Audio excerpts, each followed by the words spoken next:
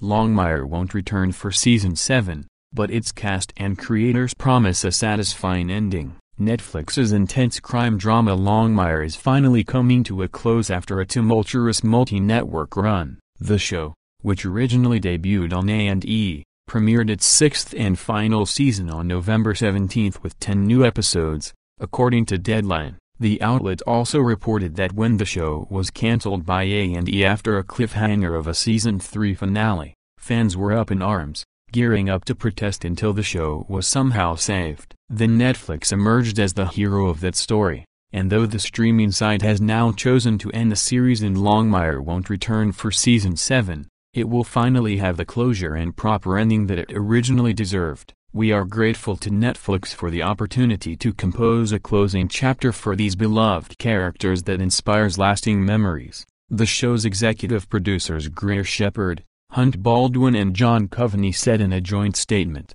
according to the same deadline report. Most importantly, we are committed to delivering a dynamic and satisfying conclusion to our fans that rewards their longtime loyalty. Lou Diamond Phillips, who plays Henry Standing Bear in the show, told Cowboys and Indians magazine that the final season would bring closure and satisfaction, and said he feels glad the show is finishing its run on Netflix rather than traditional network TV. We have a passionate and loyal audience of almost 6 million viewers per episode, the actor told the magazine. Airing on Netflix, after the original run on A&E, has given us the opportunity for longer stories and deeper storylines as we're not constricted by the traditional 48-minute episode length. He also said that when he was first approached with the project he thought it would be something special. It was one of the best pilot scripts I'd ever read question mark question mark classic storytelling evident from the outset.